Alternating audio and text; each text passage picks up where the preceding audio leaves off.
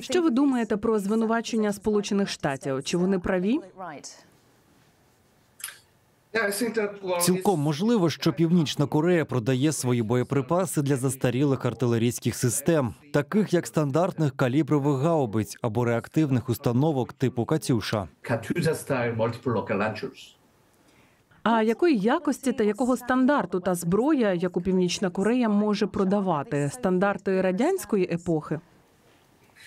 Yes, По-перше, Північна Корея свою власну зброю виготовляє за старими радянськими зразками, але новий російський стандарт також підходить до північно-корейської зброї. Вона може легко працювати у російських системах, так само добре, як і у старих системах. У випадку Китаю, через що вони створюють свій власний експортний ринок, в них є власні стандарти. А з північною Кореєю легше, бо їхні системи простіші у використанні. Як ви думаєте, яка кількість поставок? Чи може це сильно вплинути на можливості Росії?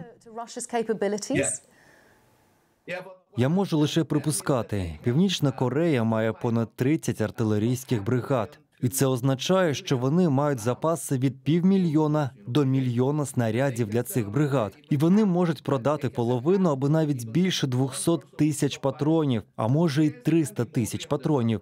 І це може вистачити Росії на кілька тижнів війни. Існують жорсткі санкції та ембарго на озброєння, але це стосується безпосередньо Росії як держави, а не найманців групи Вагнера. Як іде постачання зброї? Ризики є для обох країн. Для цього вони використовують різні компанії. Але стосовно продажу зброї безпосередньо найманцям, це те, що Північна Корея робить вже десятиліттями. А що Північна Корея отримує взамін?